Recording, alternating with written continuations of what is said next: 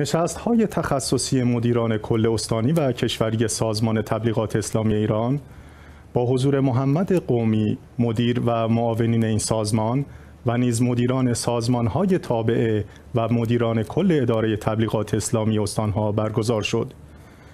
سومین روز این نشست به طور اختصاصی به موضوع سازمان هیئت و تشکل‌های دینی اختصاص یافت. محمد قومی رئیس سازمان تبلیغات رئیس سازمان تبلیغات طی اظهاراتی مدعی شد که سازمان تبلیغات بنای تصدیگری در هیئت‌ها را ندارد. اما به اعتقاد کارشناسان تشکیل سازمان هیئت و تشکل‌های دینی و آغاز به کار آن به خودی خود به منزله تصدیگری و دخالت در حیعات به شمار می رود که بدون شک نتیجه آن حکومتی کردن هیئت خواهد شد.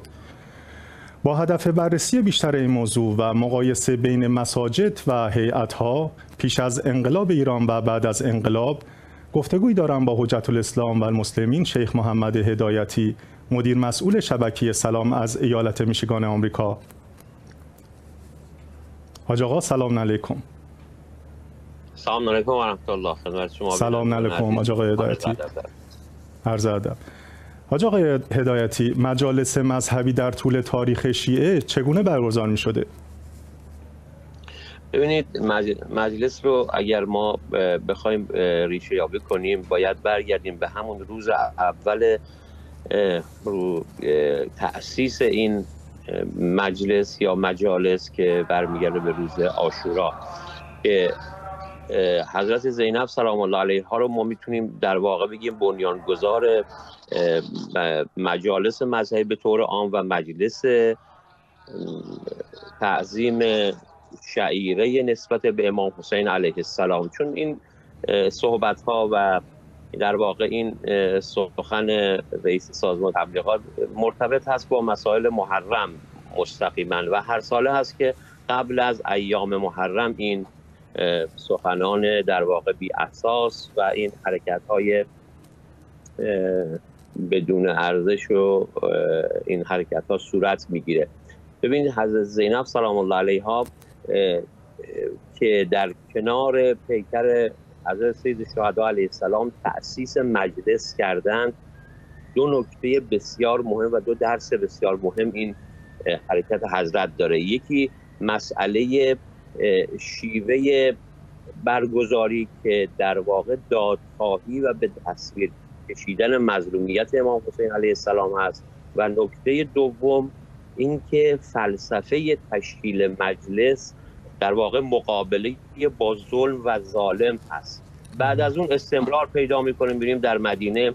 حضرت ام البنین سلام الله علیها اینطور هست که دستگاه ظلم یزید رو به رسوایی میکشونه و در کلام اهل بیت صلوات الله علیهم اجمعین می‌بینیم که امام صادق علیه السلام میفرماد رحم الله من احیا امرا یک دستور عام هست. هیچگاه رنگ و بوی دولتی و حکومتی نگرفته و ما در هیچ یک از اسناد مدارک تاریخیمون نداریم. امیر مومنان علی علیه السلام خب به هر حال یک نمونه اگر کسی سراغ داره به ما نشون بده که حضرت تأسیس مجلس مذهبی کردن در قالب و در شکل حکومتی و دولتی خودشون و مردم رو الزام کردن و اجبار کردن. نداریم.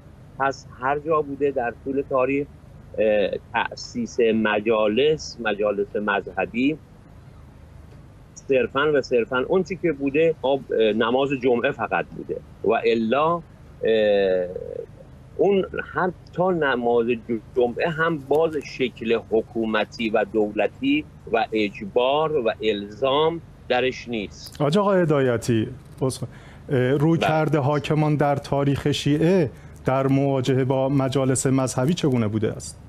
همین این در واقع این سوال خیلی مهمی هم فرمودید. این این سوال مرتبط با همون قسمت اول روی کرده حاکمان به این شکل بوده که مستقیم یا غیر مستقیم خواستن این مجالس رو به, به نوعی مصادره به مطلوب کنن تحت شعا قرار بدن استفاده ابزاری ازش بکنن.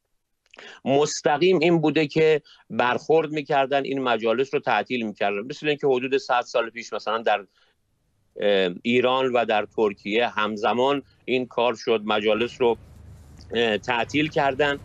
ولی در این دور زمان ما با این عصر ارتباطات و شبکه های اجتماعی که نمی‌تونن این کار رو عملی کنند غیر مستقیم وارد شدن برای برخورد با این مجالس. و این شیوه های مختلفی هست در این در واقع برخورد غیر مستقیم با تربیت آخوندهای درباری در واقع تولید محتوا می‌کنن که این محتوای مطالب همسو با اهداف سیاسی باشه اهداف سیاسی خاصی که همونها در واقع در راستای به سمر نشاندن اهداف حکومت هست که همون استفاده ابزاری از دین هست برای تقویت نظام صلح بله. لذا حاکمان همیشه و همیشه از این مجالس در راستای تقویت پایه های حکومتشون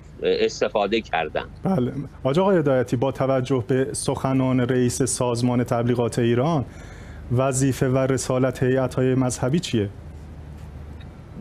ببینید اشاره هم کردم هر سال قبل از ماه محرم این حرکت های ایزایی در واقع که هیچ ثمره هم نداره. چرا؟